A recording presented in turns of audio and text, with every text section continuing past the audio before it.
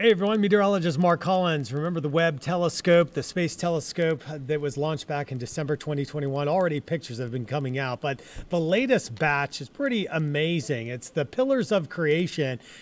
You've probably seen them. Let me show you here. Take a look. The left is what we were seeing uh, several years ago when they released the first images from the Hubble Space Telescope. That was actually uh, launched up back in 1995, 96, and uh, the images were not as clear as what we're seeing coming out of the Webb on the right. In fact, notice there, you see those towers, those pillars.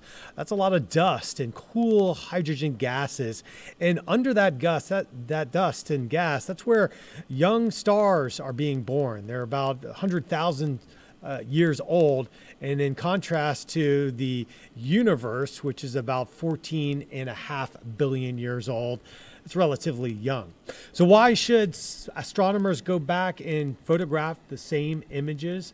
Well, it's because they're actually learning more information about the planet, where stars come from, because they can get a precise count of the stars with these really high resolution uh, images that are photographed in infrared light versus the Hubble, which used visible light.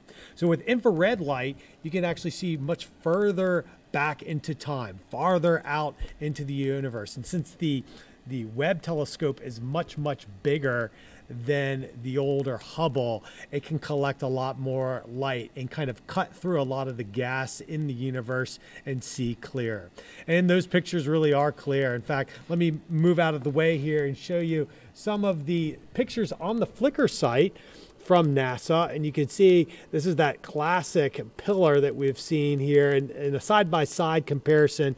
What's interesting here is that you see this star and there's like six spikes coming around it. Those are called diffraction spikes. And notice on the older, the Webb, the Hubble uh, images, you only had four. And so that's a trademark. Whenever you're looking at photographs, if you see the six spikes, that's how light is getting bent at the edges of the hexagonal mirrors on the Webb telescope. And that's an indication that you're seeing some of the newer images that came from the Webb versus the Hubble, which only had four. So again, you can go to the NASA Flickr site to just scroll through, seeing all the types of images that have been coming out of the Webb. And of course, you can go to news4jax.com where I write about weather, space, all different types of interesting science stories. So hopefully you have some time, spend some time there on News4Jax. And of course, you can watch us on Channel 4, the local station.